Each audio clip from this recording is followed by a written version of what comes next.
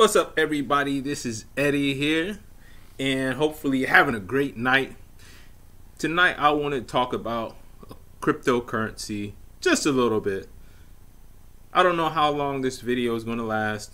It may last five minutes, 20 minutes. I'll try to keep it as short as possible. So, I was on cryptocurrency subreddit, and there's a very popular one that is on the top today. And it's regarding, well, as you can see, hopefully you can see. Hold on.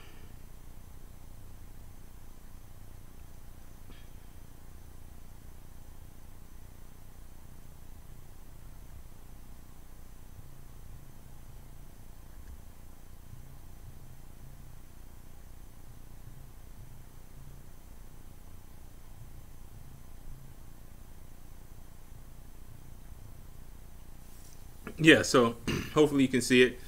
It says today, 11 years ago, a Bitcoin developer decided to visit the CIA. After that, Satoshi Nakamoto was never seen again. And the poster by the name of Naji102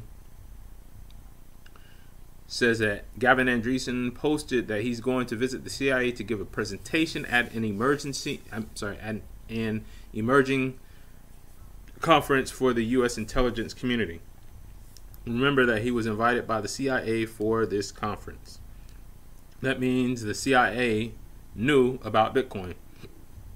Then he provides a link here, link down here, which takes us over to the bitcointalk.org and down here, post from Gavin Andresen. And it says, I want to get this out in the open because it is the kind of thing that will generate conspiracy theories. My thing. I'm going to give a presentation about Bitcoin at CIA headquarters in June at an emerging technologies conference for the U.S. intelligence community. I accepted the invitation to speak because the fact that I was invited means Bitcoin is already on their radar. And I think it might be a good chance to talk about why I think Bitcoin will make the world a better place. I think the goals of this project are to create a better currency, create a more competitive and efficient international payment system, and give people more direct control over their finances. And I don't think any of those goals are incompatible with the goals of government. I'm only very slightly worried that talking about Bitcoin at the CIA will increase the chances they'll try to do something we don't want them to do. I think accepting their invita- invitation and being open about exactly what Bitcoin is will make it less likely they'll see it as a threat. P.S. Full disclosure I'll be paid a one time fee of $3,000 to cover expenses and pay me for my time. I don't want any Gavin is on the CIA payroll rumors to get started either. As always, comments and questions and discussions welcome. I'd really rather not hear any conspiracy theories about how they'll secretly implant a mind control chip in my head while I'm there, though.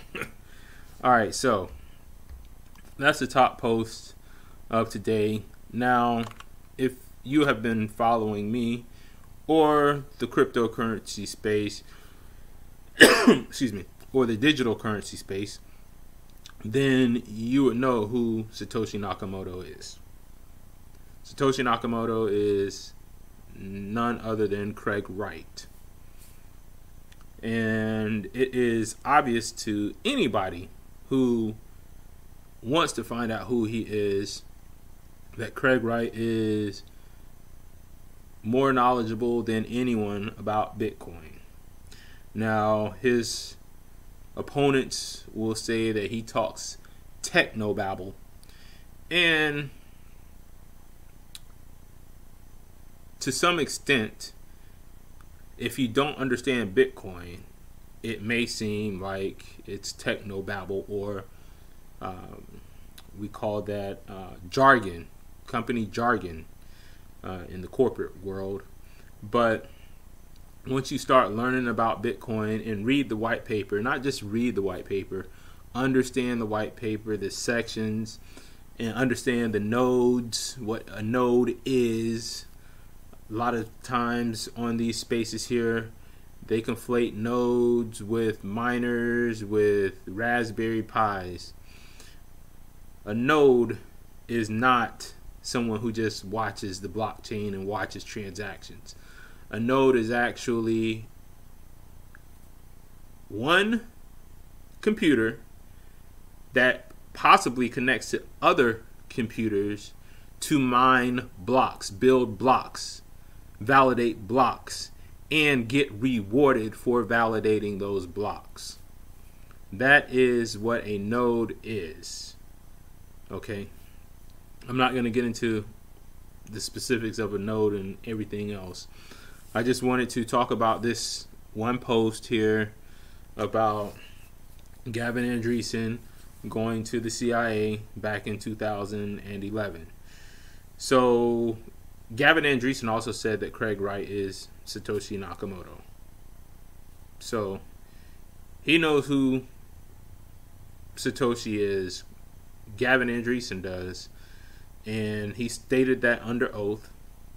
But I just found it interesting that, you know, some of the older topics from the Bitcoin community, BitcoinTalk.org, uh, is coming coming back up. It's always interesting to look at like history. Like it's like everything about Bitcoin is documented, like when it came out. The forum. This right here is from 2011, and if you scroll around, you can see actual uh, Satoshi Nakamoto writing in, in BitcoinTalk.org, and it's very interesting to, to read what he said. Um, and maybe one day, oh, I think I did did a video about that before. If if not, I'll do another video or do one about you know going through BitcoinTalk.org and Satoshi Nakamoto's previous uh, submissions and posts. If that's something that you're that you'd like to see, let me know in the comments. And that's pretty much it for this video. Told y'all I keep it simple, short, sweet. Please like or dislike and subscribe. Uh, thank you for watching. I'm out.